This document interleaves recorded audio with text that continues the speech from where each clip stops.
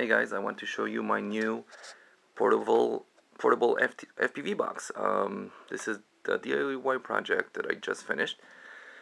It was actually very easy to build and very cheap, probably about 50 bucks of components, maybe a little less, uh, besides the video uh, receiver that's here and came with my uh, video transmitter and receiver set.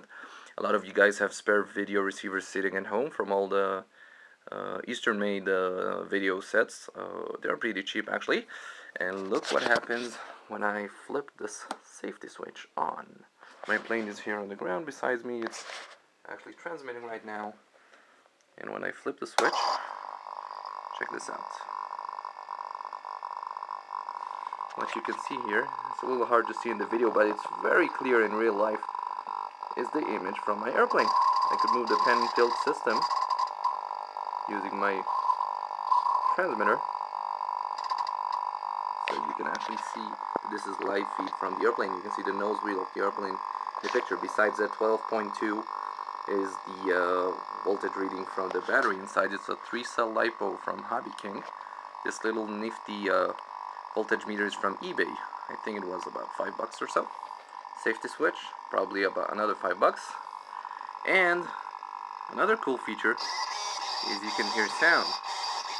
This has a little speaker inside. The speaker is made for iPhones. I uh, used the 3 volt voltage regulator from my 12 volt LiPo to power the speaker.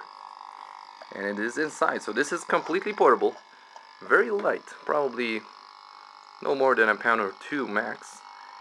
And I can take it everywhere with me and fly my airplane using this standalone $50 unit.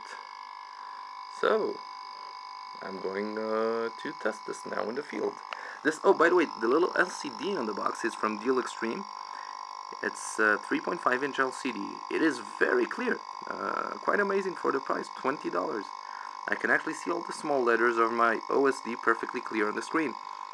Again, it does not work as well when I'm videotaping this, but in real life, it looks amazing. Anyway, I'm happy with it. I hope you guys will like it also. See you in the next DIY project. Bye bye.